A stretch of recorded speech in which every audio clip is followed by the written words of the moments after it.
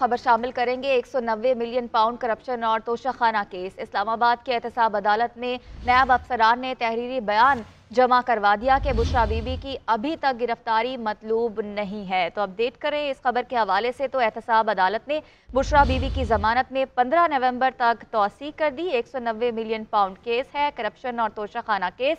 इस्लामाबाद के एहतसाब अदालत में नायब अफसरान ने तहरीरी बयान जमा करवा दिया है कि बुशरा बीबी की अभी तक गिरफ्तारी मतलूब नहीं है। एहतसाब अदालत ने बुशरा बीबी की जमानत में 15 नवंबर तक तोसी कर दी है। एहतसाब, अदालत के जज मोहम्मद बशीर ने जमानत की दरख्वास्त पर समात की। अदालत ने यह दरख्वास्त निपटा देती है तो नैब फिर तलब कर लेती है। ये बुशरा बीवी के वकील की जानब से कहा गया एक ही ग्राउंड पर ये तीसरी बार दरख्वास्त दायर कर रहे हैं। हमारा तफ्तीशी अफसर बता चुका है कि अभी वारंट गिरफ्तारी जारी नहीं किए, ना गिरफ़्तार करना चाहते हैं। नया प्रोसिक्यूटर सरदार मुजफ्फर अब्बासी की जानब से ये कहा गया। अपडेट करें इस केस के हवाले से तो आपको बताएँ कि एक सौ नब्बे मिलियन पाउंड करप्शन और तोशाखाना केस है। इस्लामाबाद के एहतसाब अदालत में नैब अफसरान ने तहरीरी बयान जमा करवा दिया कि बुशरा बीबी की अभी तक गिरफ्तारी मतलूब नहीं है।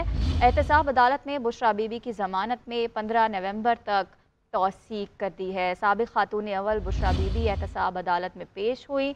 एक सौ नबे मिलियन पाउंड करप्शन केस और तोशा खाना केस में तहकीकात जारी हैं। एहतसाब अदालत के जज मोहम्मद बशीर ने जमानत की दरख्वास्त पर समात की। अदालत ये दरख्वास्त निपटा देती है तो नैब फिर तलब कर लेती है। वकील बुशरा बीबी की जानब से ये मौक़ अपनाया गया। एक ही ग्राउंड पर यह तीसरी बार दरख्वास्त दायर कर रहे हैं। नैब प्रोसिक्यूटर की जानब से ये दलाल सामने आए। Yeah.